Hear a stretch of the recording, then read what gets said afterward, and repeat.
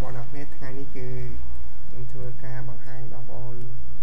អឺតកតងជាមួយនឹងកម្មវិធីមួយដែលមានឈ្មោះថា ECB CD 2.3បាទកម្មវិធីនេះគឺកម្មវិធីសម្រាប់ធ្វើការជួសជុលនៅអឺ boot boot របស់ Windows របស់យើងឧទាហរណ៍ថាយើង set Windows 2ឬមួយ Windows 3នៅក្នុងកុំព្យូទ័រតែមួយអញ្ចឹងយើងអាច set Windows 7 Windows 10អញ្ចឹងចឹង Windows វាអាចឬមួយអឺចឹងនិយាយថាពេលដែលយើង set 10ហើយដល់ពេលយើងមក set 7វិញគឺអា7វាផ្ដាច់អា10ហ្នឹងវាស្គាល់អញ្ចឹងអញ្ចឹងយើងអាចធ្វើការជួសជុលវាវិញបានហើយក៏យើងអាចធ្វើការអឺដូរឈ្មោះ boot file boot Windows គឺយើងប្រើកម្មវិធីហ្នឹង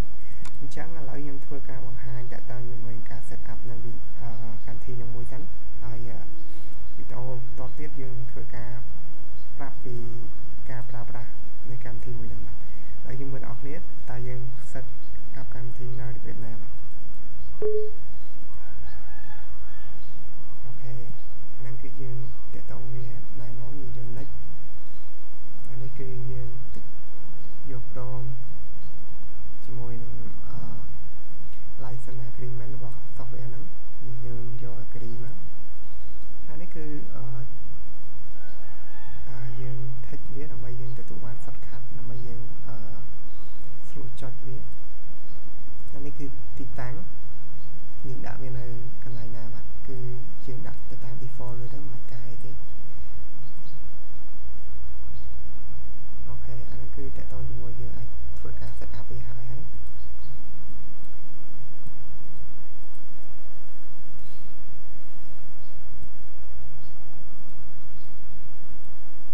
OK ឥឡូវយើងបើកមើលកម្មវិធីទីបាទ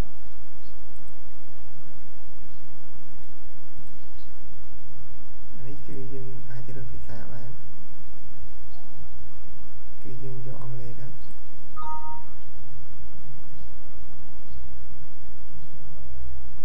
freely license អូខេដោយសារនេះគឺអឺ វាជា version free ចឹង click OK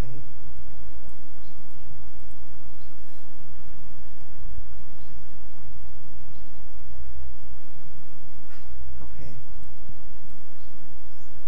អូខេដោយសារនេះ error ហើយ there are three entry list in boot loader អូខេដោយសារបច្ចុប្បន្នហ្នឹងគឺ Windows របស់ខ្ញុំគឺមានរហូតដល់3បងប្អូនអ្នកនរអាចមើលបានគឺយើងមាន E1 try E1 try D1 បាទអានេះ គឺ default របស់វា Windows 7ដោយសារនៅក្នុងនេះគឺខ្ញុំ set Windows រហូតដល់3ខ្ញុំធ្វើការតេស្តវានេះគឺខ្ញុំ try 3ដែរ C D E ចឹងវីដេអូក្រោយយើងធ្វើការបង្ហាញតកតងជាមួយនឹងការកែ